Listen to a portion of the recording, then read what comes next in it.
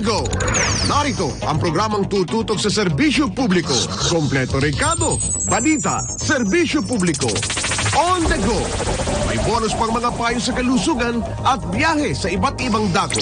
Samahan natin sina Dr. Rachel Go, Gani Oro at Senador Bongo sa On the Go.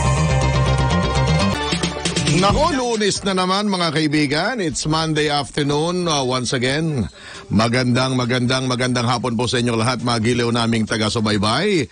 Araw po kayo ng uh, lunes, ika-21 po tayo sa buwan ng October taong 2019. Ito po naman ang inyong abang lingkod, Gani Oro. Nagpupugay sa ating pong mga tagapakinig sa programang On The Go sa himpilang ito ng DWIZ 882 sa inyong mga radyo. At hindi lang po tayo sa radyo na papakinggan, tayo po ay teleradyo na rin sabagat kasabay po tayong napapanood din sa ating online streaming. Napapanood saan mang panig ng mundo sa pamagitan ng ating uh, social media platform broadcast. Sa YouTube, sa Facebook, sa Twitter, on the go sa DWIZ 882. Sa ngalan po ng ating mga kasama sa produksyon, ang ating Technical Director, Engineer Mon Ibanez. At si Daniel Tenko, nariyan po naman sa social media. Nandiyan sina Jezreel Santillan at Cristel May Deyang. At sa ating uh, mga kasama naman sa production, ating mga communication assistants, sina Hyacinth Ludovico at Yasmin Pantaleon. Sa ngala po ni Chris Ryan Reyes at ni Doc Rachel Go, samahan po ninyo ang inyong lingkod Gani Oro hanggang alas 7 ngayong gabi. Mga balitang on the go, balitang bago, headline. Ako, eto po, mainit na balitang pinag-uusapan ngayon ang panukala ng isang kongresista. Kakapakinig-pakinig nyo lang po sa balita. Ang panukala ay gawing dalawang taon ang provisionary o probi bago maging regular ang mga empleyado. Di ba, six months lang, no? Yung iba nga, eh, dapat mas maikli pa. Within six months, dapat gawin ng regular. Pero kapag probi ka for two years, ay, may marami hong nagre-react, maraming umaalma. At ang isa pang balita, sinampahan na po ng kaso ng mismong Philippine National Police, CIDG, si uh, kaka-resign lamang o kaka-bitiw na sa kanyang tungkulin, PNP Chief Oscar Albayalde. Ilan lang po yan sa mga balitang ating susubaybayan, hihimayin at bibigyang pagtalakay. Kasama na po ang ating mga panauhin ngayong araw na ito. Today, our guest live sa studio, ang mga miyembro po naman at uh, opisyal ng uh, Association of Firearms and Ammunition Dealers of the Philippines Incorporated o AFAD. Kaya ang pag-uusapan ho natin ngayon tungkol sa baril, no? Putukan, tungkol sa putukan, yung mga pumuputok diyan, ha? Hindi ano ah, hindi ito reventador o hindi pang Pasko pa bagong taon itong putukan na ito ha. Pag-usapan natin mga kaibigan, ang responsableng pagmamayari at paggamit o pag-iingat ng lisensyadong baril. Yan po ang ilan sa mga magiging discussion for today sa ating On The Go sa DWIZ. Diyan lamang po kayo. Pero bago po ang lahat, alamin muna natin ang magiging kalagayan ng ating panahon sa oras nating 5.39 in the afternoon. Malalaman natin ang ating weather update mula po naman sa pag-asa sa pamagitan ni Ginoong Alzar Aurelio. Alzar, magandang hapon sa iyo. Magandang hapon na din sa inyo, uh, Gani Oro, ganun din po sa lahat ng taga-subaybay. Mapagulan naranasan kanina, idulo po yan ng mga localized na kaulapan at wala naman tayong mga bagyo, panibagong bagyo o low pressure area sa loob ng PAR. Si Perla po, at uh, bagyong Perla ay lumabas na po ng PER kahapon lamang. Sa buong bansa ay patuloy pa rin makakaranas ng maganda at maliwalas na panahon, lalo na po sa umaga. Pero may inaasahan pa rin tayo mga isolated na mahihinang pagulan sa Luzon, samantalang isolated na mga pagulan dulot ng thunderstorm sa Visayas at Mindanao. Ang agwat ng temperatura sa Metro Manila para bukas ay mula 24 hanggang 33 degrees Celsius. Ang ating Philippine Standard Time ay 5.14 ng hapon. Mula sa pag-asa, ako po sa Alzar D. Aurelio. Ay, Alzar, wala bang natatanawang bagong namumuong sama ng panahon dyan pagkatapos nitong si Agibis? Well, may isang bagyong na may international name Waloy na inaasang hindi papasok sa PAR. Mhm. Kasalukuyan line nito ay 2,600 645 kilometers east ng Southern Luzon. Waloy. Waloy Yan ang po. kanyang international name. Apo. Pero itong Hagibis, matanong ko lang, ano, bagamat hindi na nala sa, sa atin ito, pero ang Japan talagang binugbog ni Hagibis, no? Yan bang international name na yan, eh, galing ba sa Pilipinas? Tayo ba nag-contribute ng pangalan na yan? Opo, tayo po yung nagbigay ng pangalan Kagibi. Ayun. Buti naman yung binigay nating pangalan, hindi tayo tinamaan. Ah, Oh, opo. kasi Eh, pangalan Hagibis, di ba? Huma Hagibis. mm, Oo. Parang pareho ng isang ah, sing and dance group nung araw na Hagibis. Oo Meron po. pa rin ngayon. So, ang pagbibigay pala, tama ba, yung iba-ibang mga bansa sa Asia, binigyan ng, kumbaga, nag, nagbigay ng sample ng mga name na gagamitin sa bagyo. Opo, lahat ng miyembro ng World Meteorological Organization ay Hmm. nagbigay po ng mga pangalan sa mga bagyo. Kasi akala nila yung Hagibis ay local name na yan. Ah, yung pala international name pa siya. Opo. Pero ang Pilipinas ang nag-contribute niyan. ng Opo. pangalan. Ayun, trivia lang sa ating palatuntunan. Mm. So itong Waloy naman, I don't know kung ito, sa- saan kaya galing yung Waloy. Parang galing sa ibang Asian countries yan. Opo, ah, uh, kami galing Thailand. Thailand. Ang sa Tagalog niyan ay dessert. Dessert? Opo. Ah, kasi nung araw, pinapangalan sa pangalang babae yan eh, yung mga ganun. Ah, ngayon eh, tinanggal na yung mga babae, parang pinangalan na sa, kung hindi, ano, hayop ba o anong Opo, katawagan. hindi na po pertaining sa babae lang po. So, Kasi ano naman, Lahat unfair, na, bagay, opo. unfair naman sa mga kababaihan. mm, opo. So wala nang bagyong Noemi. Ah, Nung araw may mga ganun kasi Opo. may Noemi akong guest dito ngayon sa studio. Okay, so maraming salamat ha, Louie, ah, Louie. Alzar, maraming maraming salamat sa iyong pag-uulan. welcome po. Magandang hapon. Magandang hapon, maraming salamat. Yan po naman ang ulat panahon mula sa Forecasting Center ng Pag-asa, si Alzar Aurelio. Nagatid sa ating oras, 5.42 na po ng hapon sa buong Kapuluan. Tuloy-tuloy tayo sa mga balita. Siyempre, bigyan na muna na, daan muna natin ang mga balitang nangyayari sa labas ng himpilan. Kamungi tayo sa Bulacan, hatid na balita ng ating Metro Patrol. Metro, Metro Patrol, Patrol. Metro Patrol Bulacan, Louis Angeles. Kamin, Louis. Yes, uh, magandang gabi, uh, Kuya Gani. Pinisintan ng uh, Ubanto National High School sa teacher at principal ang uh, karangalang sinamo ng kanilang mga manlalaro sa isinigawang uh, Edis Athletic Youth ay ginanap nitong nakaraang na nakaraang uh, uh, isang linggo diyan sa bahagi ng uh, Santa Maria Bulacan. At dahil naging uh, nakapag-uwi sila ng medalyang ginto, at ang karamihan inuwi naman na mag-aaral sa kanilang uh, pagkapanalo. Kaya't uh, pinarangalan ni uh, uh, Mayor uh, Edwin Santos ang mga manlalarong uh, mga atleta ditong sa nakaraang uh, athletic hit nga dito sa bayan ng Santa Maria.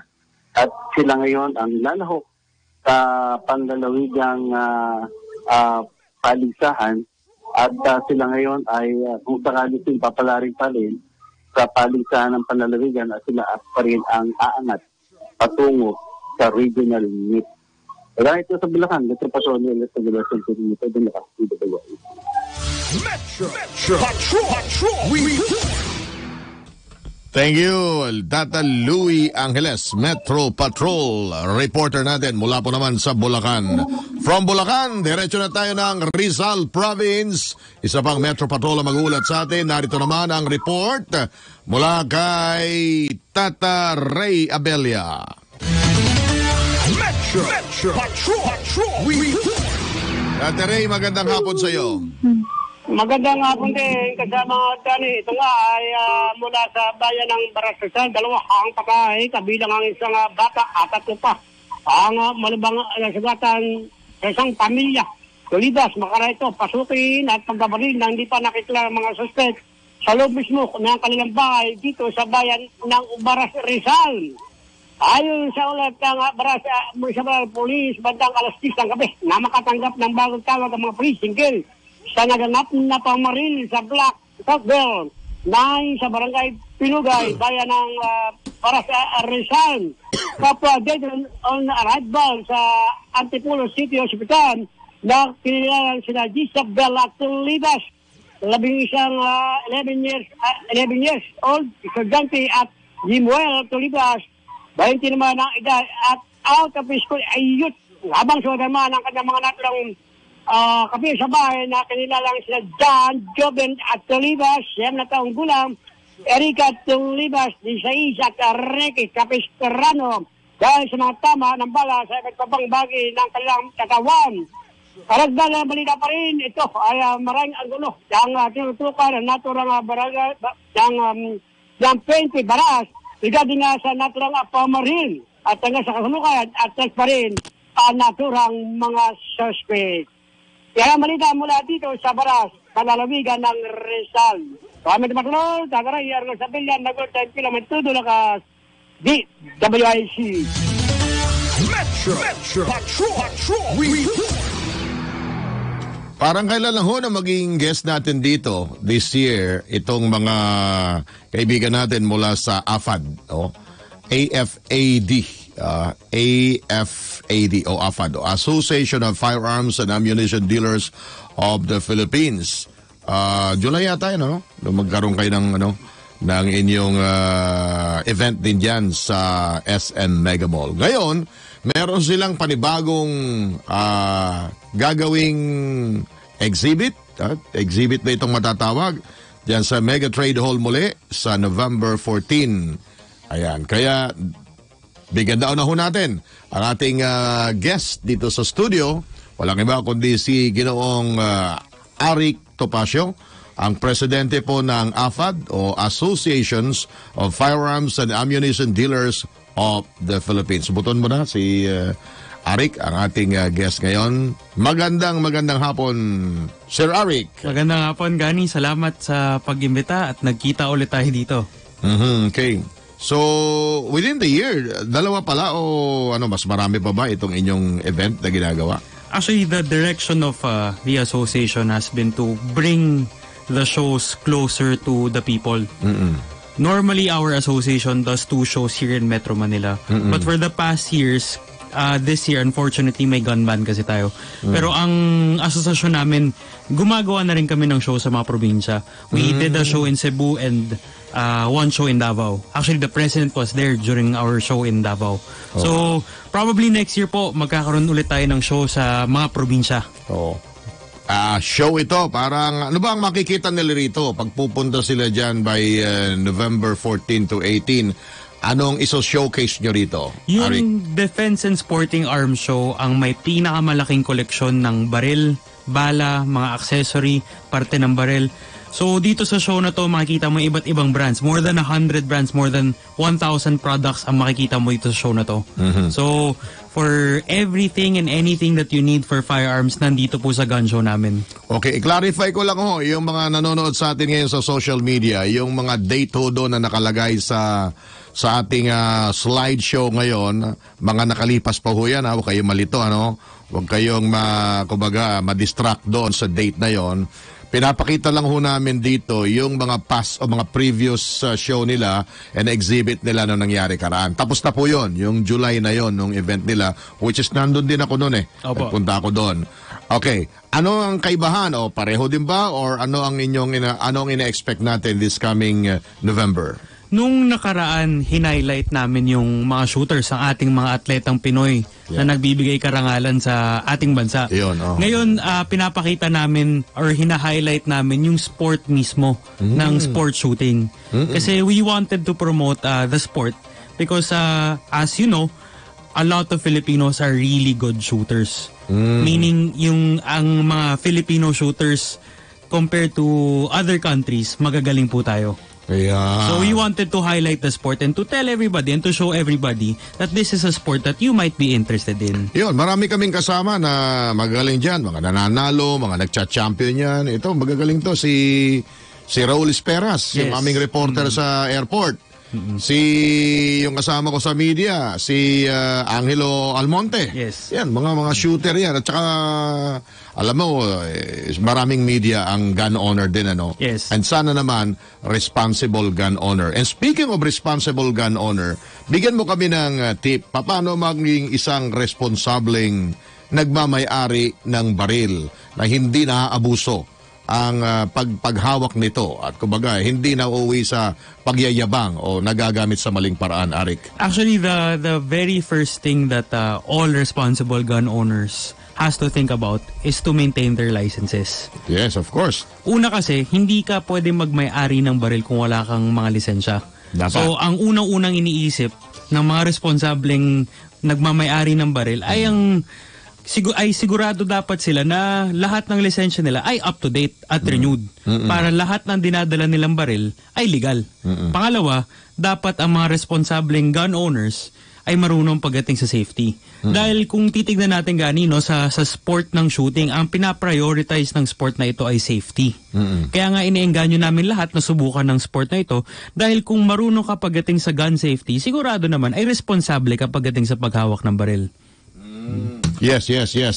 Ang sinasabi nga natin, dapat pag, may, pag ikaw ay hawak mo ang lisensyadong barel, madali kang ma, ma, ma, ma-identify, madali kang mahanap, madali kang ma-pinpoint, just in case merong mga violation sa iyong kasunduan, no? Kasi ito para kang nanunumpa, nagagamitin mo sa tama ang paggamit nito. Opo. Ah, madali bang ma-access ng ating mga otoridad just in case ikaw ay ah, lumagpas doon sa sa boundary ng paggamit ng pagiging responsible gun owner. Actually, ang kagandahan nga dyan, Gani, bago namin ibenta ang baril, ang asosasyon namin, dumadaan ito sa tinatawag nating stencil at saka ballistic. Yes. Ang ibig po sabihin nito ay tinitignan ng PNP or ating ang ating law enforcement kung ano yung mga markings pagdating sa baril.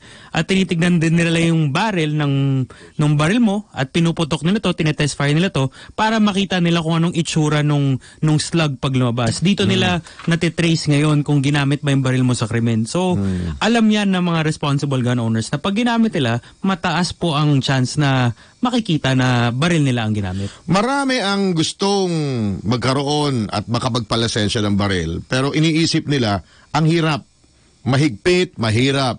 Yung inyong grupo ba tumutulong how to secure uh, right permit, permit to carry, at pag paggamit nito? Una sa pagbili.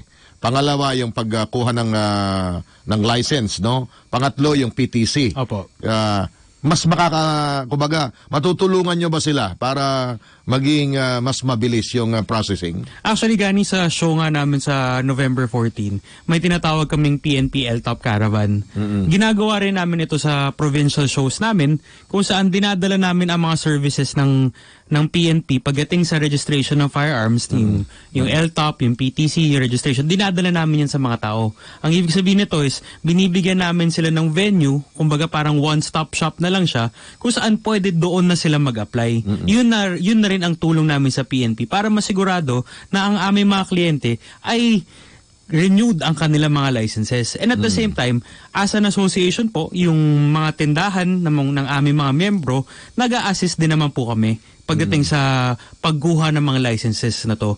Kasi kung titignan mo yung requirements, medyo marami siya. So yung iba nating mga kliyente, yung iba nating mga kababayan, medyo naguguluhan sila. Kaya kami bilang mga mga dealer at gusto naming i, i, i-promote ang responsible gun ownership, we also help din and we assist them when it comes to procuring procuring these licenses. Wala bang nagano diyan, nagfi-fixer diyan ah, o ako bahala sa iyo o ah, ikukuha kita ng license kahit na no show ka na.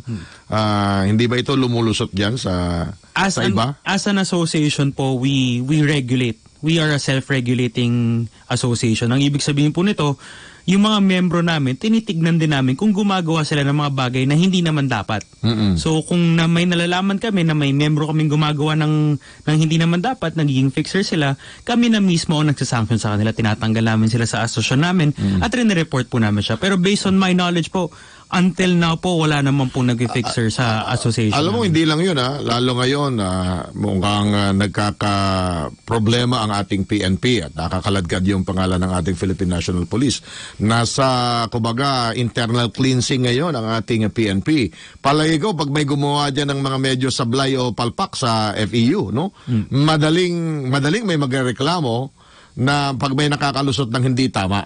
Opo. Oo, yan. Actually, okay. Ah, yung ginagawang pag-reshuffle ng PNP sa awa ng Diyos hindi naman nadamay ang ang industriya namin because with the leadership of the previous FEO chief si General Val de Leon, he modernized everything. So tinanggal niya na yung opportunity ko saan pwede maging fixer ang mga tao. Siya pa rin ba? Ah, na- nalipat na po siya. Nalipat na. Sino ang bagong- Congratulations po kay General Val. Na, na-promote ba? Na-promote po siya. I think he's now the regional director for Cebu. Sa Cebu. Sino nga ang bagong chief ng FEU? I think uh, that's uh, Colonel Romel Mitra. He's also from Davao. Mm. So si isa actually it was the direction of General uh, Senate now Senator Bato pa eh. Oo. Uh, they modernize everything. Dati kasi you have to line up here, you have to line up there. Now it's all online. It's more efficient. Kung mag-upload mo na lahat ng documents. So, naiiwasan yung red tape at saka yung mga tinatawag nating fixers. Sa inyong Gun and Smart, uh, Sporting Arms Show sa November 14 hanggang 18, sino bang mga expected nyo mga uh, big personalities na darting po doon? Yung dumating po sa amin nung nakaraang July ay yun nga sila Senator Bato, sila uh, uh, previous Chief PNP Oscar Albayalden, we have all these officials from the PNP and the AFP. Now I think we we invited uh, sila Meg Zubiri, sila Oh. Ralph Recto, sila Senator Bato. Because Senator these- Bato pa rin, yes, oh, because di- these are the people that are that are vocal when it comes to the promotion of responsible gun ownership. At So, baka, si- baka yung bagong PNP chief na o I see Hope- si hopefully po kung General Gamboa. Yes, si General Gombo. We will also be inviting him. Of course, syempre kasama natin ang PNP sa lahat ng mga events natin dahil kumbaga partners kami ng PNP pagdating sa pag-promote ng responsible gun ownership. So they will always be there. Okay. Ang dami hong mga dapat nating tingnan, ah, as, ah, kumbaga, usisaing mabuti bago magkaroon tayo ng ah, mga armas. Paano naman yung mga ngayon eh meron na silang hawak na baril pero wala silang license. O kaya naman dati silang o nabentahan sila o binebentahan sila ng ah, baril sa ngayon Anong dapat nilang gawin? Ito ba masasagot ng ating ah, bisita ngayon? At just in case na yung kumuha na sa kanila na miyembro nila ay magkaroon ng problema, anong sanction? May sarili ba silang pa kumbaga ay sanction among themselves para kumbaga ay i-penalty o bigyan ng ah, leksyon yung mga yung mga miyembro nila at kayo mga nakikinig ho ngayon kahit hindi ho tayo may hawak ng baril dapat may alam din tayo Di ba? Kahit yung mga ordinaryong mga mamamayan, pag hindi mo kasi alam yung batas tungkol sa pagmamayari ng baril, eh, hindi mo alam kung sino isusumbong mo na kapitbahay mo kapag, uh, kumbaga, inaabuso na yung paggamit niya ng armas. Di po ba? Ayan ba ay uh, dinidiscuss din dito sa inyo, sir? Yes po. Definitely po. Ayan po pag-uusapan natin mamaya kasama na ho ang inyong mga katanungan. Kung meron ho kayong tanong sa ating bisita dito sa studio, siya po ay si Ginoong uh, Arik uh, o uh, Alaric Topacio, President ng AFAD. Ang AFAD, ang meaning po ng AFAD ay Association of Firearms and Ammunition Dealers of the Philippines. Sila po ay may darating na isang uh, sporting uh, defense and sporting arms show this coming November. Diyan lamang po kayo at uh, pwede ho kayo magtalong sa ating uh, palatuntunan. Pwede ho kayo mag-text sa amin dito sa DWIZ 882. Nasa social media naman po tayo ngayon. Pwede nyo ipadala ang inyong uh, comments, ang inyong mensahe at katanungan po sa ating uh, panauhin. Magbabalik po ang inyong lingkod, Gani Oro, dito sa impilang DWIZ kasama ang ating panauhin at ang uh, mga kasama natin sa produksyon uh, at mga report ng uh, reportorial team ng DWIC. Makalipas lang po ang pang-alas 6 na pagbabalita. Diyan lang po kayo. On the go sa DWIC. At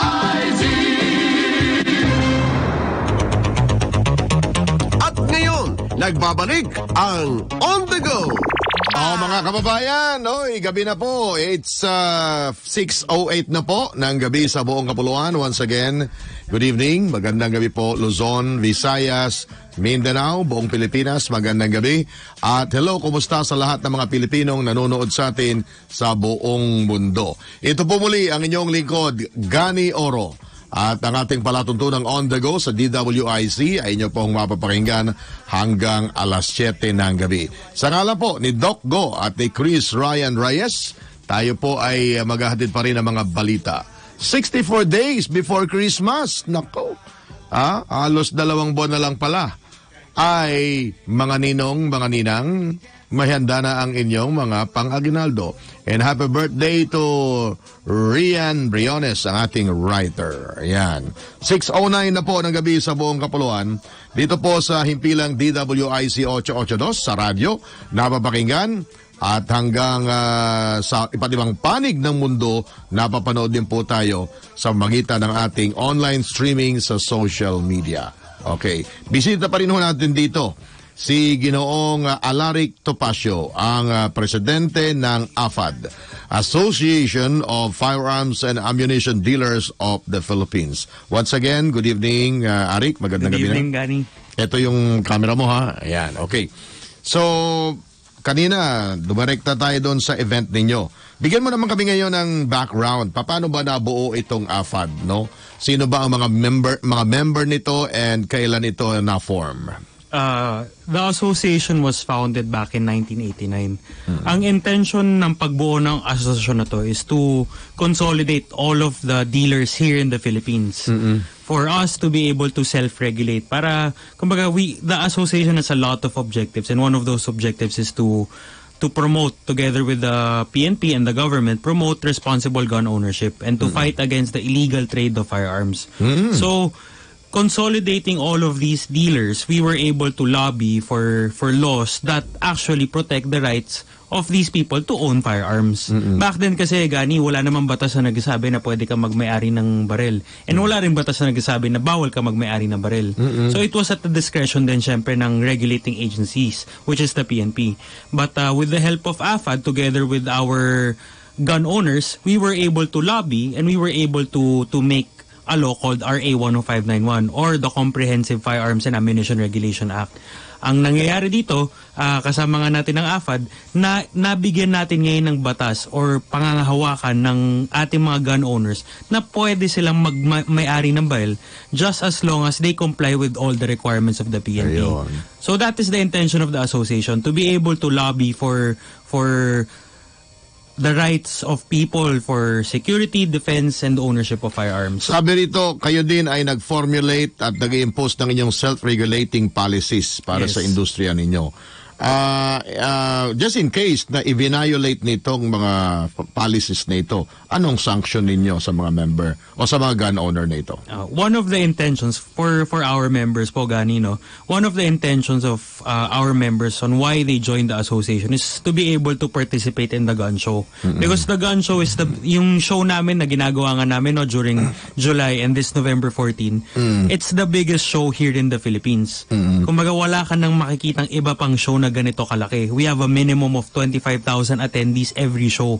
So, it's a it's a good opportunity for our dealers and ayaw nilang matanggal yung opportunity na yun for them. So, what we do is uh, we make a set of rules for the for our members and kung sakali man ay hindi sila sumunod sa patakaran ng aming asosasyon, sinususpende namin sila o kaya inaalis nila namin sila sa asosasyon namin.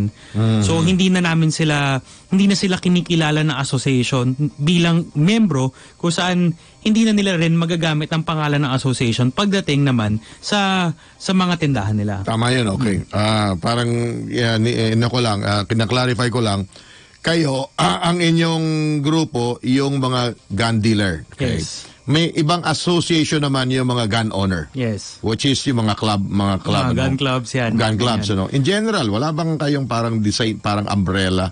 Actually, ano lang po, ah, yung AFAD naman, aside from the dealers lang, we also represent the interests of all the gun owners. Kasi syempre, kami as gun dealers, we are also gun owners. So, whatever they are fighting for, we also lobby for. So, pag naririnig namin na yung mga kliyente namin o yung mga, yung mga kaibigan namin na medyo redundant ngayong licenses or yung mga requirements na hinihingi ng PNP, we also lobby for that as well. We, we, we, we do not represent just the dealers but also the gun owners here in the Philippines. Okay, saglit lang at batiin ko lang itong mga nakikinig. Ang aking pamangkin, si Kin, si Carlito Hadkan, sa Rosemary Nablo Abayare, ah, Brazas, mga nanonood sa atin ngayon sa social media. Sabi ni Rosemary, shout out po sa pamangkin ko ng advance happy birthday kay Jonard Brazas Kasilag from Lebanon. Si Casey Jennifer Lentiha, ah, nanonood sa atin ngayon sa ating social media ah, broadcast no. Tuloy-tuloy lang ho, pwede kayong mag-send ng inyong messages, ng inyong katanungan dito sa On The Go sa DWIC. Bisita pa rin natin ngayon. Hindi ba kasali ang sporting events na shooting dito sa darating na Southeast Asian Games na gaganapin sa ating bansa? Alin As- ang kasali? As far as I know, trap shooting ang kasama sa SEA Games. Yung gumagamit ng shotgun. Ito yung shotgun tas may lumilipad na plato. Oh! Do yung mga nakikita mo sa mga European May may Pilipino pala na ano niyan na may team na may team tayo ng Pilipinas niyan. Yes. Kasi napapanood ko lang 'yan sa YouTube eh. Mm. Sa YouTube sa sa mga western uh, countries ah, sa mga ano, yung galing magagaling diyan yung mga parang cowboy-cowboy, di ba? Yes, yes, oh. Pa- papali pa rin yung parang plato na pla- ano, parang flying saucer na gano'n. Tapos titirahin ng ano ng shotgun. Yes, uh, we have really good shooters. Some of them have already competed in the Olympics. Mhm. So, hopeful naman po tayo Relative na mo pa ata yung isa. yung isa po yung kapatid ko. Ah, kapatid mo? Yes. Talaga naman. Si ano. Hagen. He has been competing for Sino anong pangalan? Hagen Topacio. Hagen We- Topacio. uh, our team is composed of uh, three people and a fourth man. So, Hmm. as of now, it's uh, Eric Ang, uh, Carlos Carag, and Hagen Topacio. so tatlo sila Yes. na magko-compete dito. Yes, I think they're going to, if I'm not mistaken, it's Dubai in the next coming weeks to compete. Kung magagaling sa shooting, yung mga dating mga pangalang Tak Padilla, ano sino pa ba yung mga sa shooting dati? Jetro Junicio. Jetro Junicio, yan. Dito sa sa sporting event na ito na ang pangalan ang tawag dito? Trap shooting. Trap shooting. Nananalo rin ba ang Pilipino dito? Opo, uh, I think for the past few years, uh, these uh, shooters have been bringing medals to the country. Talaga? Some of them nga have already represented the Philippines for the Olympics. Oh. Even si Jetro. Jetro, Jetro is also doing trap shooting now. Wala lang masyadong ah, media exposure. Yes, oo. Siyempre, ano, uh, it's not really a well-known sport. Oh, Kasi- bakit, bakit, eh, tayo mga Pilipino, magaling tayo nung araw, y- yung aming tirador nung araw, eh, laro natin natin, at saka yung baril-barilan, di ba? Opo. Oh, nung mga bata pa tayo, mga baril-barilan. Pero parang, yung sa shooting, yan, ki- kino-cover din yan sa media. Yes. Pero ito yung sinasabi mong trap shooting, parang first time ah, sorry ah, first time ko narinig na may mga Pilipino palang nagko-compete dito at ngayon ay sasali pa sa Asian Games at Yes. nagaganapin sa Pilipinas. Yes. By ano yan, by December, di ba? Yes, I think kino-construct na yung range ngayon sa Subic. Ah, doon gagawin. Doon gagawin. Kasi kailangan malayo ka eh. Mm-hmm. Kasi baril ang pinag-uusapan natin dito. Na-try mo ba yung ganyang I sports? I I do shoot trap shooting. Oh. Enjoy naman siya. It's not your typical shooting event kasi Nako, pag eh, next time pag nag-guest ka rito pa ano, i-video mo nga para mapanood namin dito kung ano yan. Ano ba yung pinapalipad na yan na parang flying saucer? clay, Clay. clay target siya. So it's like a plate na gawa sa clay. Tapos pumuputok yun, di ba? Sumasabog. Sa, nababasag po siya. So Hindi ba ang di ba ang shotgun eh pa, pakalat yung pellets niya, Yes. yung bala. Ah, concentrated pa rin ba siya sa anong distance bago siya mag-spread out yung mga pellets na yan? Siguro in 15 meters nag-spread out na siya. It's Mm. different po kasi if you're using may sa shotgun shells po kasi may mga grains na tinatawag kumbaga or may may iba-ibang klaseng pellets. Merong Mm. mas malaki yung tinatawag natin buckshot, tapos meron ding mas maliit yung tinatawag nating birdshot. Mm-mm. Kumbaga sa hunting yung birdshot yung ginagamit para sa ibon. Ito rin po yung ginagamit sa trap shooting. Mm-mm. So, ah So kailangan lahat ng pellets mo ah, tumama doon sa pinaka-plate na yon. kailangan lang po isa. Kailangan lang mabasag mo siya. Ah, may kahit isa Yes. lang ang tumama. Yes. Ah. So that's around 200 to 300 pellets. Oo. Pero yun, yun nga po, it's not like... Eh, eh, ang, pro- ang problema doon, gumagalaw yun, eh, lumilipad yun eh. Ah. so, eh, minsan hindi lang isa, di ba? Ah, hindi hindi siya parang practical shooting na tatakbo ka tapos nakatayo yung target mo Mm-hmm. or nagsiswing lang siya. Eto, it moves away from you. So it's more difficult. Oh. So, So- kailangan, ah, habang lumilipad yon mag-advance ka na Yes. ng, ng, ng, ano, ng Yes. target mo na gano'n. So, ang hirap pala niyan, ano? Yan po ang Olympic sport pagdating sa shooting. So Okay. have track So, and panonoodin natin. yan. Iko-cover natin yan para... And then, kapatid niya pa pala. May uh, Sana- Arik sana dito. manalo. Ang isa. Saka na natin i-guess dito pag nanalo ha. Kasi baka ma... Kumbaga, ma ano eh. ah, ma-distract. Sana po, Oo, sana kasi siya. yung Oo. Okay. So ako nakapag-try na rin ako ng ano kasi ng shotgun eh. Eh, awa naman Diyos, pag ah, pumuputok ako sa shotgun, tumatama naman. Kasi, well, safety ha, safe talaga gamitin ng shotgun. Pero sa, sa, ano, sa pistola, sa pistol, medyo talagang kailangan more practice pa. Yes. Magalaw ng konti. Pero nahihit din natin yung target. With that, mga kaibigan, konting ano lang, side story lang po ng pinag-uusapan namin dito. So, ano pa? Ano pa ang ine-expect ng mga taong pupunta doon? Anong klaseng baril ba? Anong klaseng ah, g- ha- handgun lang ba ang pwedeng ah, bilhin ng isang ordinary citizen? At ilang ilang bilang no how how many uh, pistola ang pwedeng may may-ari pwede bang long firearm ang pwedeng bilhin at mapalisensyahan Unahin muna natin yung licenses, no, guys? Yes. Ang licenses kasi pagdating sa barel, may tinatawag tayong, kumbaga may category siya. From type 1, type 2, type 3 hanggang type 5. So ito, ang nagdidikta kung ilang baril ang pwede mong ipagmayari. Kumbaga kung type 1 huwag ka, ka nga ng konti sa left para Kung- yan, yan, yan, para gitna kung halimbawa type 1 ka, ah, you can own as many as 2 or 3 guns. Kung type 5 ka naman, you can own as 15 or more guns. Pa- paano kinakategorize yung type type ng ano yung yung bang status mo sa buhay kung marami kang death threat o Yeah. maraming kaaway o Actually, ano it ba? depends po kung kung gaano karaming baril ang meron ka. So if you have Ah. 15 or more guns already before the new law, automatic type 5 ka na. Gun collector ka na. O pwede yun Yes, you can own as much as... Binibigyan ba ng ah, ano yan, ng ah, permit ah, lahat? Pero hindi permit to carry. Hindi po permit Kasi hindi mo pwedeng dadalhin yung 15 ah, guns doon sa sa kotse mo eh. Yes. Ano naman po siya? ah, as long as you can pay for the registration of all the firearms you you, you own, okay lang. So you can own as much as 100 to 150 firearms basta kaya mong bayaran lahat ng registration. pero, pero dapat sa bahay lang yan. yes. Parang for, for display at saka for sporting events Dapat siguro. naka-vault siya. Naka-vault. Naka-vault, nakatago po dapat siya. Now, if you want to bring them out, you have to have the necessary permits din. Kailangan mo ng permit to carry or kailangan mo ng permit to transport. Yun nga, kung pupunta ka sa mga firing range. Kailangan mo kumuha ng permit to transport or ng permit to carry. Oh, iba pa yon. Yes. So, iba pa yung iba pa yung registration at yung license to own sa permit to transport at sa permit to carry. So halimbawa, meron akong 45, meron akong 38, meron akong 9mm at pwede pa ba ako ng ah, M16, Armalite? Inaalaw ba? In the law po, as long as it's below 7.6, it doesn't exceed 7.62, you are allowed to own a long firearm just as long as it is semi-automatic. So ang pinagbabawal lang talaga yung tinatawag nating light weapon, yung mga full automa- fully automatic na na firearms. Pero for rifle, shotguns, pwede naman po tayo magmayari kung kung titignan po natin sa batas. Ayun. Hindi pa mahirap magpalisensya ng baril ngayon. Lalo ngayong medyo ah, may mga i- ibang insidente na yun nga, naabuso, nagagamit ah, lalo pag na traffic, ah, maglalabas ng baril, pagkatapos mananakot, manunutok. ah, hindi ba mahirap magpa-license ng baril ngayon? Actually, yun nga po yung kagandahan na ginagawa ng PNP na tinitignan nga kung capable ka ba talaga magmay-ari ng barel. Pinag-neuropsychiatric May drug, neuro. drug test ka.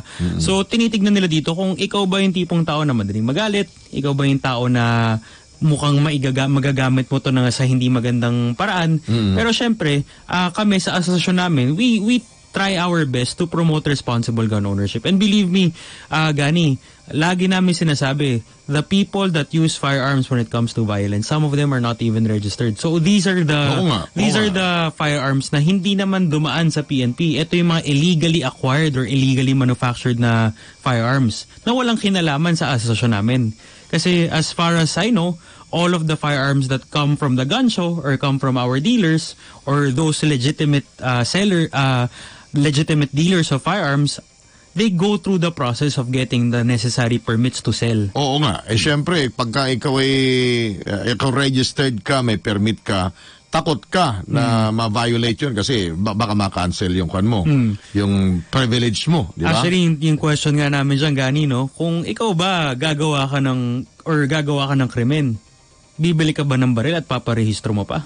Ipapaalam po ba sa law enforcement? Oo. So hindi na yung mga yung mga criminals natin na may na gumagamit ng baril, most of them they illegally acquire their firearms. Ito yung mga tinatawag nating paltik. Pero halimbawa, si si Juan, ah, nagparehistro siya ng baril, pero meron siyang kapatid na si Pedro na wala namang lisensya. Eh kinuha yung baril niya at ginamit sa hindi tamang paraan. Nagyabang, nalasing, na, na, na- nanutok o nagpumutok-putok doon dahil ah, lasing na lasing nga. May sagutin ba? May dapat bang panagutan si Juan? Ano ang responsibilidad niya Of course, both of them are liable. Una, yung kapatid na gumamit ng baril kasi hindi niya dapat hinahawakan yun dahil wala nga siyang lisensya. Pangalawa, na- pangalawa naman si Juan, it is his responsibility to see, to safe keep that firearm. So he is also Na siya lang ang kailangan gagamit nito. Yes, oo. So he is also he can also be liable for that. Kasi yun nga, bakit nandun yung baril niya? Bakit nasa kapatid niya yung baril niya? It should be hidden away and dapat nasa kanya lang parati yun because the gun is licensed to him, not to the brother. Anong advice nyo sa isang gun owner? Kasi may mga insidente na pinakailaman ng anak, yung mga wala pang malay, pinaglaruan, pinutok, ayun, nakadisgrasya tuloy. Eh, It is yun din yung eh, one of the reasons why we tell everybody that they should be responsible gun owners is because gun res, uh, responsible gun ownership does not end sa paghawak lang ng baril. Kumbaga, it starts pag meron ka ng baril. So hanggat sa pagtago ng baril, dapat responsable ka lang. Hindi lang sa paghawak ng baril. So, sinisigurado mo na hindi mo nakukuha yung mga yung mga yung hindi nakukuha ng mga kamag-anak mo yung so, baril ng wala ng silang mo access, dapat wala silang access. Actually, doon. sa sa gun show namin, Gani, meron kami mga seminars para dyan. So, aside from the retail part of the show, we also do seminars and workshops for for all of the people that join our show. Balikan lang natin itong inyong event o itong uh, sporting show nyo. Mangyayari by November 14-18. Paki-flash nga uli yung ating yung uh, title, yung ano natin niya, yung banner natin dyan. Okay, so uh, as you said earlier, eh, ang inyong pinaka-focus ngayon, yung mga parang para sa sports, no? Yes. Yung mga gun club, yung mga pang-pamilya eh, pati mga pati mga anak nila pwedeng pumutok. Basta ba nasa ah, tamang edad? Yes, as, 18? actually as even if they're younger as long as they are they are qualified or they know how to handle a firearm, pwede na silang bantayan ng parent. Pero paano yun? Nakalisensya doon sa, pa, sa, It's sa, sa father? it's licensed to the father. Pero pwedeng iputok nung anong Yes. bata doon sa driving range, sa Yes. ano, sa, Sa firing, firing range, range, sa firing range. Yes po. Ayun, golf tuloy nasa isip ko. Ito si Moni Lagan kasi hindi ako nakapunta sa Actually, golf. Gani, if you go to competitions nga, you'd see kids as young as Oo nga, napanood- 14 years old, pumuputok na. Napanood ko nga. So, pang, pang pamilya. Yes. Ano ba ang nakukuha? Ano ba napapala? Yan ba parang sports din na para bang nag enjoy ka, parang naka, nakaka-addict din yung pagpaputok na ganyan? Ganyan ba ang na-experience nila? It's it's ano eh, siguro it's it's a different uh, high pagdating sa mga tao. Kasi it's a it's a unique sport, not everybody does it. And it takes patience para gumaling ka. Hindi lang to yung kumbaga pag sinubukan mo ng isang beses magaling ka na kagad. Hindi to parang basketball. na- Kailangan constant practice pa rin. Yes, constant practice pa rin. So, uh, most of the time I notice nga na people, even the parents, they want to introduce firearms to their kids kasi it also requires discipline. It Discipline. instills discipline sa mga bata pa lang. So imagine a 14-year-old who lear, who knows how to handle a firearm properly, who knows all the rules and regulations with regards to firearm and follows those rules. Imagine kung ano pa yung mga kung ano na lang tong bata na to pagtanda niya. Anong pinakamabentang sidearm ngayon? Itong pis- pistol, anong pinaka maano ngayon? Mas in demand. Actually, kung, kung tatanungin mo ko gani, ang dami. Kasi you have more than a million gun registered firearms right now. Mm-hmm. So, halo-halo po yan. You have the likes of uh, IWI, Colt, Ruger, Sig Sauer. So, it depends eh. Depends kasi lahat yung mga doon manano sa mga exhibitor na doon. Opo. Depende sa kanila, no? And then ina-advise din nila kung ano ang mas maganda sa mga shooting sports competition. Kung kung if they want to try out the sport, I suggest they they go to a shooting range and try a pistol there muna. Bago sila bumili ng sarili nila. Kasi sa sport, iba-ibang category yan eh. You have production, you have classic, you have open. So, iba-ibang klaseng baril ang kailangan mo. Hindi siya yung isang baril para sa lahat. Alright. Mhm. Sige. Okay. So, bago tayo mag-end sa ating uh, um, interview na to, baka meron pa kayong gustong i- i-announce, i-advise, ipanawagan, at uh, ipag-imbita sa mga nanonood sa atin ngayon. Actually, invite po namin lahat na sumama sa aming gun show, ang Defense and Sporting Arms Show Part 2 this November 14 hanggang November 18 sa SM Mega Mall Mega Trade Hall. Dito nyo po makikita ang pinakamarami at pinakamalaking koleksyon ng firearms, ammunition, spare parts, and accessories in the Philippines. We also want to invite those who are curious pagdating sa baril. Kasi yun nga sinasabi namin, kung gusto ninyong matuto or gusto ninyong masubukan na humawak ng baril, tamang-tama po para sa inyo na pumunta ngayong gun show at makilala nyo ang community at makita nyo kung gaano ka-responsable ang mga Pinoy pagdating sa baril. Alright. Uh, with that, maraming maraming salamat sa pagdalaw sa ating uh, Salamat, stasyon. Thank you kay Noemi at saka kay uh, Grace. Thank you so much sa mga kasama natin dito. Uh, and uh, by, anong araw to? No, November 14. 14. Anong days ito? Thursday. Thursday, Thursday hanggang until Monday. Ayan, sige. Kita-kits tayo doon ulit. Kita po ulit tayo doon, Oo, Sir Gani. uh, ma-cover natin kapag uh, by that time eh ma may uh, labas naman natin for the succeeding uh, uh, program natin dito.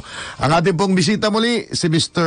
Alaric Topacio, ang uh, president ng uh, AFAD, Association of Firearms and Ammunition Dealers of the Philippines Incorporated. Okay.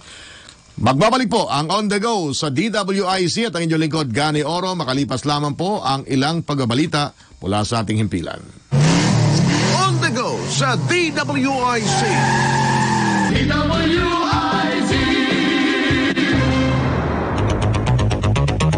At ngayon, nagbabalik ang On the Go. Oy, tuloy-tuloy na po tayo. 6.36 na po ng gabi sa buong Kapuluan. Once again, salamat po sa inyong panonood at pakikinig pa rin sa programang On The Go sa DWIZ. Ito pa rin po inyong lingkod, Gani Oro. Ang programa natin ay isa sa inyo hanggang alas 7 pa ngayong gabi. Isang oras at kalahati po tayo every Monday, Wednesday, and Friday. Sa radyo, sa 882.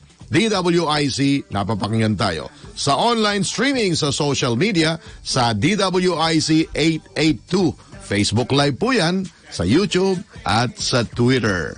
At siyempre, at bago tayo magpatuloy, bago natin iarangkada itong ating mga naglalakihang mga balita ngayong Monday, October 21. Alam ba ninyo hong maraming mga benepisyo ang ating makukuha sa prutas. Bilang balitang pangkalusugan ho natin, ito ba ang binabanggit ko po yung prutas na tinatawag na binansagan din. Super fruit. Ito po yung guyabano. Ayan, kung nakikita niyo po dyan sa ating screen ngayon. Ang guyabano po ay tinawag na super fruit sapagkat ito'y punong-puno ng bitamina at sustansya at ang ah, ang kagandahan pa nito, ang daming sakit na nilalabanan po ito. No? Ang guyabano sa English sour soap ay pinatunayan ng medical research na ito ay natural cancer cell killer. At ang bisa nito, sinasabi nga sa medical uh, research, 10,000 times stronger than chemotherapy. Yan. Kaysa mag-chemotherapy ho kayo, o may mga sakit na cancer, no? Mabisang panlaban po ang guyabano. Hindi lang po yan. Ito po ay anti uh, panlaban din yan sa diabetes at sa ka-arthritis. Ang magandang balita, Meron na ngayong pure concentrated guayabano juice. Nasa botelya na po yan. Ito'y ang Glow Guayabano Juice. Walang artificial flavoring. Purong-purong katas ng bunga ng hinog na guayabano. Available na po yan sa SNR Superstore at iba pang Glow Guayabano dealer sa buong bansa. Glow Guayabano Juice. Nasa botelya na po yan. Masarap na, masustansya pa. Kung gusto nyo pong mag-dealer, gusto nyo maging distributor o gusto nyo makabili, magtanong kay Mr. Tem Kabilin sa kanilang number 0999-793-2258 o kaya sa Globe 0927-865-9992. Glow Guyabano Juice. Purong-purong katas ng bunga ng hinog na guyabano. Masarap na, masustansya pa.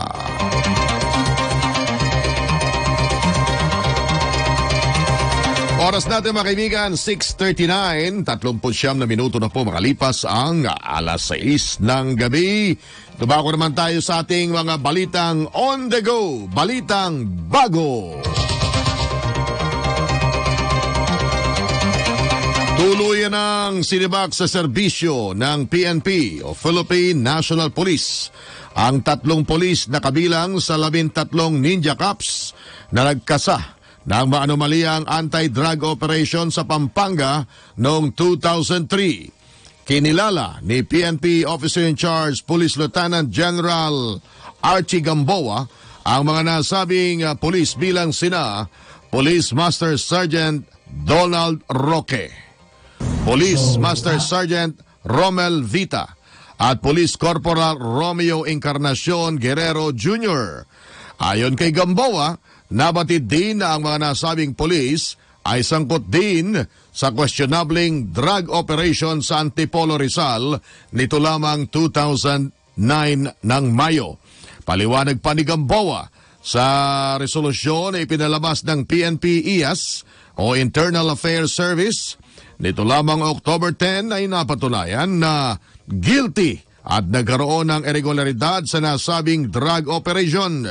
Gayunman, tiniyak ni Gamboa na maaring iapila ng mga ito ang ipinataw na dismissal order laban sa kanila. So, para alam nyo lang kung ano ang degree of participation ng PNP. Napuntahan natin yung sa Antipolo. Incidentally, four of those 13 were included in the charge sa Antipolo na, na administrative case. I received the folder last October 17. Tapos pinareview ko kasi meron akong comment doon sa punishment, no? Kasi yung isa, yung official, was meted the dismissal, no? But he was only charged of less grade. So hindi pwede na na-charge in the course of in the course of investigation, they have found out na yung degree of participation ng isang official is far more than what he is charged of Ang tinig ni PNP uh, PNP Officer in Charge Police Lieutenant General Archie Gamboa. Bumiyahin na kaninang alas 5.30 ng hapon patungong Japan si Pangulong Rodrigo Duterte. Ayon kay Presidential Spokesman Salvador Panelo, kabilang ang Pangulo sa sasaksi sa enthronement ni Japanese Emperor Naruhito. Sa pagkakaalam ni Panelo ay wala namang iba pang aktibidad na gagawin ng Pangulo sa Japan maliban sa pagsaksi sa enthronement at uh, banquet. Kasabay nito, ipinabatid din ni Panelo na maaring, uh, maaring magbigay ng tulong ang Pilipinas sa Japan sa mga naapektuhan ng bagyong Hagibis doon. Kung ang Japan ay binagyo, ang Pilipinas naman po, ang Kamindanawan ay nilindol. Alam mo na at uh, may mga marami-rami ho itong mga napinsala ng lindol dyan sa gawi po naman ng uh, Mindanao. No? At sa ating uh, mga impormasyon, eh, patuloy pong nakararanas ng mga uh, mga aftershocks oh, mga bahagyang mga pagyanig ang ah, ating makasama doon, no? Si Ems nga, ah, si Ems ah, Gold, no? Na kilala natin po diyan. Sabi niya eh ah, nako, may Ninenervyos na kami rito dahil sa dami ng mga aftershocks. Ah, talagang nakakanervyos, bigla na lang umuuga. Pakiramdaman namin ay dinuduyan at ah, nakakahilo kasi matagal yung uda the next day 3 to 5 times and aftershocks. Ah, mahina sa umaga at tanghali pagdating ng hapon yung malakas kaya naglalabasan na naman sa mga bahay at mga gusali ang mga tao doon sa kanilang lugar. Ayun. Sa ngayon, maraming salamat po sa Diyos at wala po aftershocks daw ay tuloy-tuloy na po ito. Itong mga oras na ito, nag, kumbaga medyo nag, ah, ah, nawalan daw po ng interval ng aftershocks. Sabi niya, yung gate namin sa likod bumagsak, salamat at konti lang po ang nasira. Ayan. Yung nag-text po sa atin ito ay dyan sa Marbel, Coronadal City. Ayan. Sa gitna ng Jensan at Davao po. Yun. So ang Lindol po ay malapit sa Jensan. Na, kung nakita nyo naman may mga malls po doon. May mga mall na nasira, mga ari-arian at ah, may mga namatay at meron din pong mga nasugatan sa naganap na mga pagyanig. So patuloy po tayong ah, nananalangin na sana po ay ah, humupa na yung nararanasang mga aftershocks at makarecover ang mga kababayan natin dyan sa naganap na paglindol. Ganun po talaga. Kapag lumindol ng malakas, mga ilang araw ho yan, may mga konti-konti, paunti-unti na mga na mga aftershocks. Hindi kalakasan. Kung 6 ang ah, ah, naitala nitong nakalipas na araw, yan, may mga aftershocks ho yan na 3, 4, yan, sa magnitude na pagtaya, pag ah, tansya po naman ng ating uh, Feebox. Hari nawa ay makarecover na po at ah, humupa na itong mga pagyanig na nararanasan ng ating mga kababayan po naman dyan sa gawi ng Mindanao. Alas 6.46 na po ng gabi sa buong kapuluan. Narito pa ang mga on-the-go, balitang bago. Welcome sa Teachers Dignity Coalition, ang hakbang ng Kamara na i-review ang implementasyon ng K-12 program. Kaugnay ito ng naging pahayag ni House Speaker Alan Peter Cayetano na hindi epektibo ang K-12 program dahil hindi naman ito natupad ang pangako nito na mabigyan ng angkop na kaalaman at kakayahan ang mga mag-aaral. Ayon kay Teachers Dignity Coalition Chairman Benjo Basas, suportado nila ang hakbang nito ng Kamara dahil nais nila na matiyak na naka, nakakatanggap ng dekalidad na edukasyon ang mga mag-aaral. Apo, ah, actually, welcome po yan. ah. That is a welcome um, um, development and move from the, ano po, from the House. Uh, actually, yung speaker na po yung nagsalita. Ah, basically, itong, itong uh, K-12 program, may kailangan tal- naman talaga nito no, ng mga reviews. No? Ah, lalo na, ang laki ng pinangako sa atin ito no, nung, nung ito ay sinabatas at uh, siyempre malaki yung pangako, no? sobrang Ah, babaguhin nito yung landscape eh, no? ng education um, system sa Pilipinas. Of course, ah ang pangunahin na nga dyan yung, yung mismong um, yung cycle. No? So from 10 naging ah, 12. No? In fact, 13 kasi part nito na na integral part nito yung kinder. No? So Yes. from kinder to grade 12. No? Ah, tapos yung curriculum ay binago rin. No? Even yung approach. No? So, yung program, no, yung buong program, eh, kailangan tignan din. Ano, ano, ano na ba yung inabot nito no, after ah, Dagdag pa nito, mahalaga na mabigyan lamang ng periodic review ang K-12 program upang matukoy din ng mga mambabatas ang kakulangan ng batas upang maging angkop ito sa Pilipinas.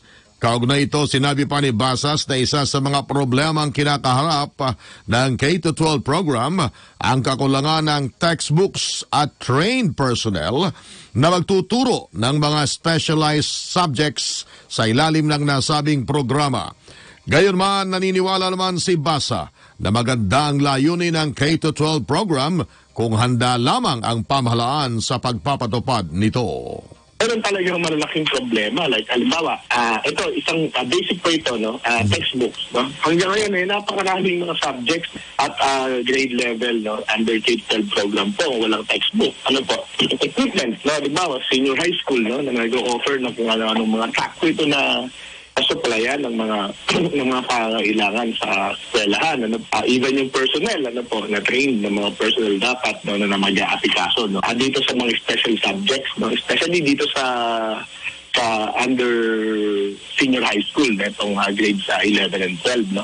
O kaya hindi natin po hindi po katakataka na makita natin na medyo hindi talaga ito gaya ng binanggit niyo kanina no ah hindi niya kumbaga natupad no yung kanyang ah, purpose no as a promise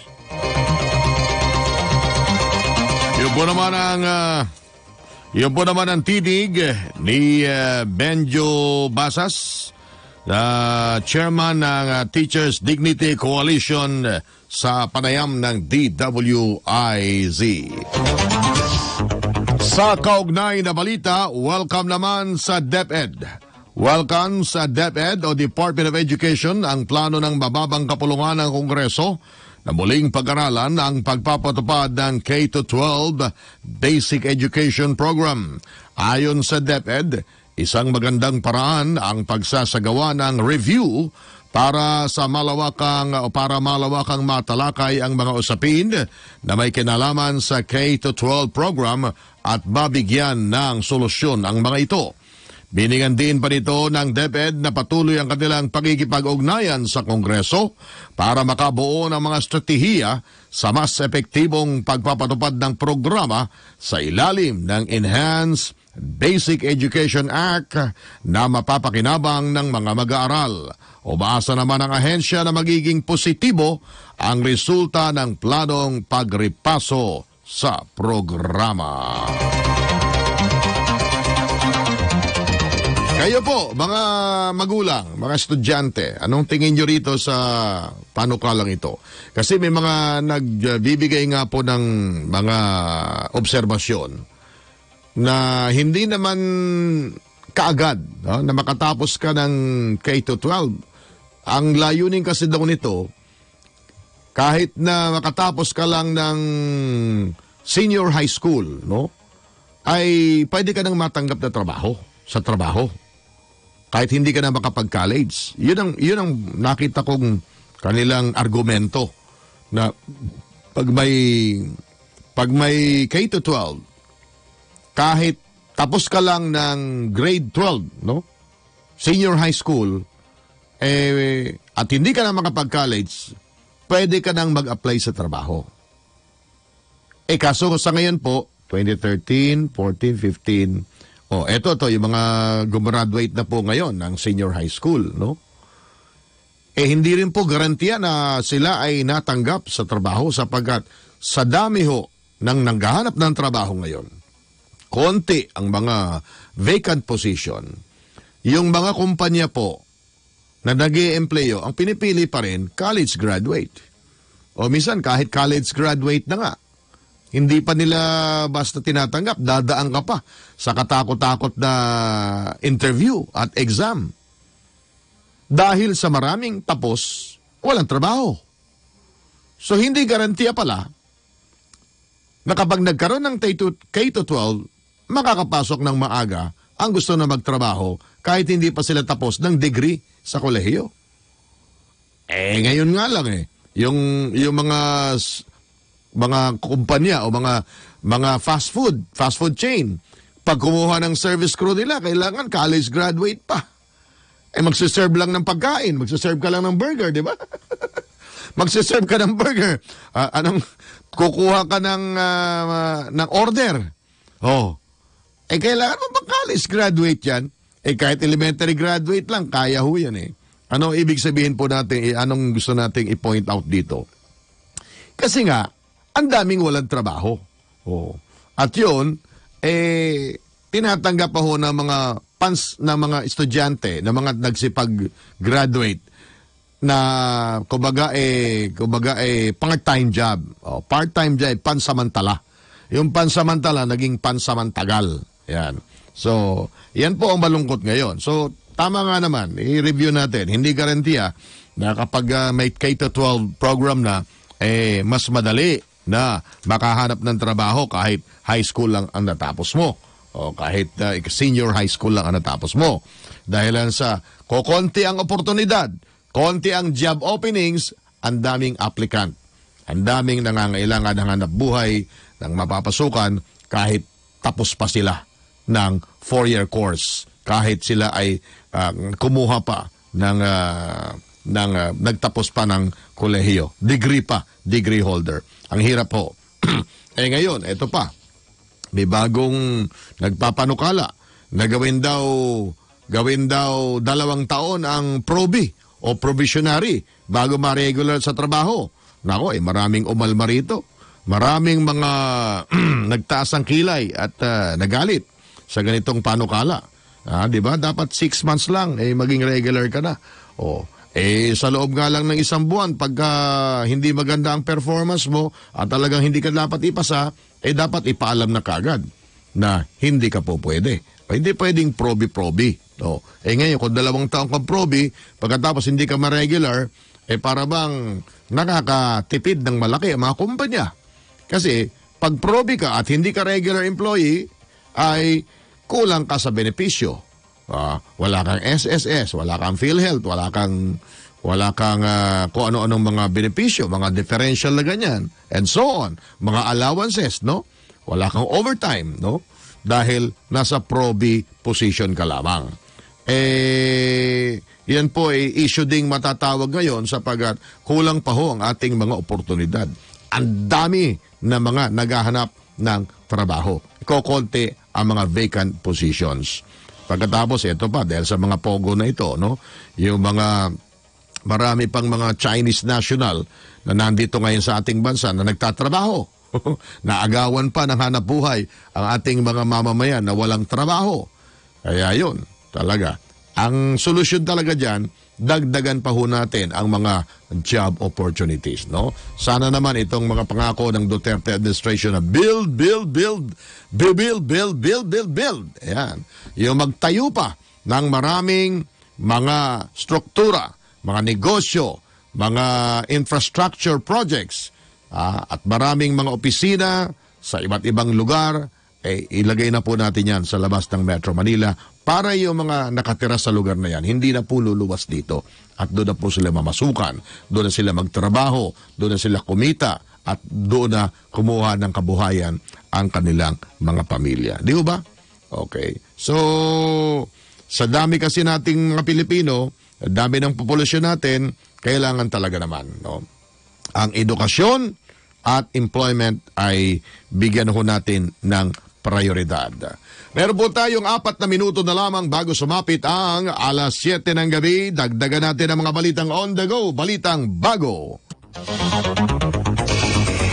Ipinagmalaki ng Department of Labor and Employment o DOLE ang maraming alternative market para sa mga OFWs o Overseas Filipino Workers. Kabilang dito ayon kay Labor Secretary Belio III, ang Germany na nangangailangan ng Pinoy nurses. Gayon din sa Slovenia at Austria na nagbukas ng maraming trabaho para sa mga Pilipino. Makailan lang dumating ang ano ang German ambassadress. Nangangailangan sila ng additional nurses. Meron din dumating dito yung ating ambassador sa Austria. Kasama yung special envoy natin sa Slovenia. Kasama nila yung mga employers na nangangailangan sila ng dalawa hanggang liman libong manggagawa. Sabi ko, pag magkaroon muna tayo ng deployment ano, ng bilateral agreement para Oh. makapag-deploy kami dyan. Damo. Po naman ang tinig ni Labor Secretary Silvestre Bello III. Yan po naman ay isa panayam ng ah, DWIZ. Po ano, itong habang nababalitaan nating dadami ng dadami na naman ang mga Pilipinong pupunta abroad. Ah, pagka skilled worker at mga professional, ang epekto po niyan sa atin, brain drain. Kasi yung mga mga skilled, yung mga kumbaga ay may mga professional natin, ay ibang bansa ang nakikinabang. Eh, pero wala tayong magagawa. Kung walang mga oportunidad dito, kukonti, eh, talagang mapipilitang magtrabaho abroad ang ating mga kababayan. Yun din naman ang pros and con po dyan ha? na dapat nating harapin at tanggapin po naman ang katotohanan. Okay? So ito nga pala, balikan lang natin itong lindol na nangyari sa Mindanao. Ang latest po na tala ng NDRRMC, eh, umabot na sa pito.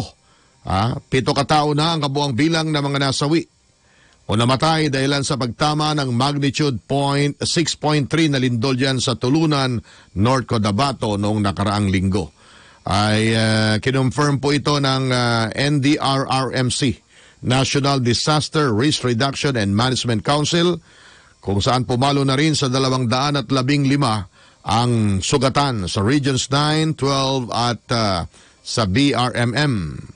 Kaugnay nito, nagtala rin ng NDRRMC ng pitong daang aftershocks. Matatandaang noong Merkules, October 16, tumama ang magnitude 6.3 na lindol sa North Cotabato kung saan nasa mahigit 3,000 pamilya ang naapektuhan. May mga gumuho na struktura at may namatay at may mga nasugatan. Atin pong pagkikidamay sa kanila doon at panalangin na sana po ay uh, wag nang dumami pa ang uh, mapinsala ng naturang pagyanig.